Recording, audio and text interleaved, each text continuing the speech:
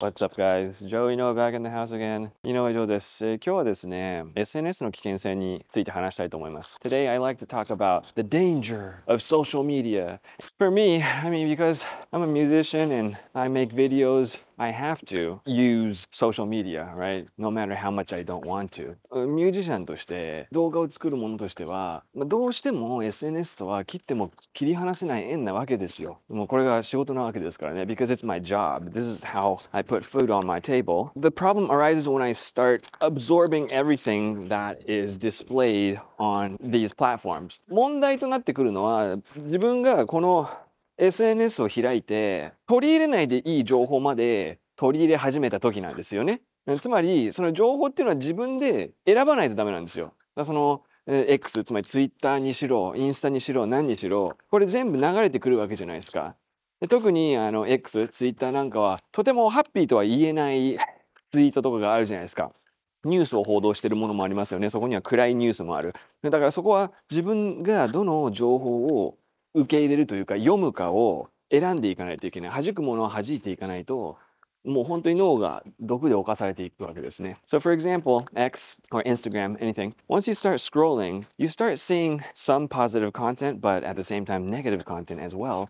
So you have to be able to select what sort of information you want to absorb. It doesn't mean that you have to accept everything that is on there. I don't think that people's brains were supposed to handle this much information in such a short period of time. I've heard once that during the Middle Ages or whatever, I don't know how far back, like the Edo era, that the amount of information that we are getting in a day in this modern age amounts to a year worth of information back in the medieval days or something. That's a lot of information. And that's why we have to select what we want to take in, especially if you want to keep on looking on the bright side. Why do you have to take in any more negativity than is already out there in the world? Without social media, right? I mean, life is already hard enough without a computer or smartphone, so you have to choose. 一説によると、その江戸時代の人たちが取り入れてた情報量、1年分の情報量が現代の我々のこの社会で1日分らしいんですよ。それって相当な量じゃないですか。それってつまり、やっぱり人間の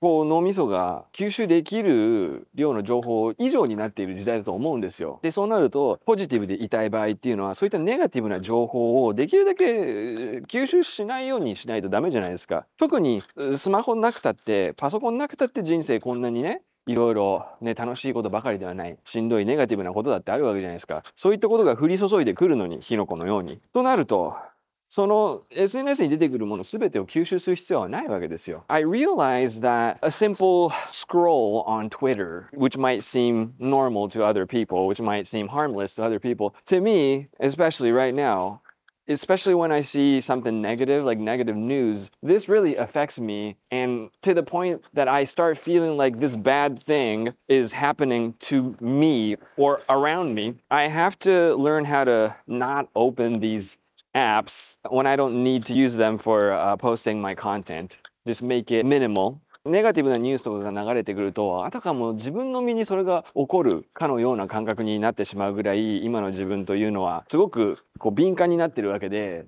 とするならばもちろんそれは自分が音楽だったり自分のその動画とかを載せる時以外はできるだけそういった SNS をシャットアウトしなきゃいけないわけですよね。まあね最初はまあこう何気なく毎日こうね見てたインスタグラムだったりツイッターだったりが今となっては結構本当にどこにある種毒が潜んでるかわからないから気をつけなきゃいけないわけですよね。And it's difficult because when you're alone, especially feeling lonely, what do you do? You know, there's especially when you're in your room and you've been there forever, uh, almost going crazy because of claustrophobia. You know, your friends are not there. Sure, I can call up people, but then, like, especially during times when people don't respond to you, you know, they might be going something uh, in their lives, or maybe they just uh, decided they don't want to hang out with you anymore. I can't help it, but sometimes finding myself opening these social media apps. 一人の時ってやっぱり寂しくなる時あるじゃないですか。やっぱその孤独というものが本当にこう人生の何ですかね。敵というかこう乗り越えなければいけないポイントというかね。だと思うんですけどもやっぱどうしてもこう一人で部屋にいるとね。でも外に出れない引きこもらなきゃいけないからしんどいな。でもずっと部屋にいるのも難しいわけですよ。なぜならその景色に飽きてしまう。どんどんこう兵所恐怖症みたいな気持ちが僕の場合は蘇ってきてしまってですね。でじゃあどうしようと、ね、友達に電話しようっつっても何て言うんですかねもうタイミングとかもあるしその電話だけじゃちょっとこう足りない部分もあったりとか、うん、でまあ友達と遊びたくてもこう返信がこう来ない時期とかもあるわけじゃないですか。だからまあそれ自分との戦いになってくるわけですね。So you have to be fine with your solitude, your loneliness, and that takes a lot of training for me, at least, you know, meditating and just kind of analyzing yourself and going through spiritual sort of exercise on your own. あの、あまりスピリチュアルという言葉は使いたくないんですけども、そういった一人の時間が大丈夫になるような、そういったこう、まあ、瞑想だったり、あの一人でいる孤独が大丈夫になる。孤独をマイナスなものとして感じなくなる、自分の弱さではなくなるとこにたどり着けるまでの強さが必要だと思うんですけども。I wonder if there's anything that can make me feel happy right now, even a little bit. 自分の気持ちを少しでも上げてくれるものがあればいいんだけど、Shall we go down the, this slide? 行ってみますか。狭い。So, so small for my fat ass. Here you go. Whee!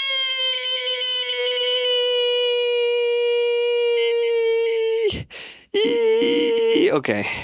Okay, I'm, I'm, I'm happy now.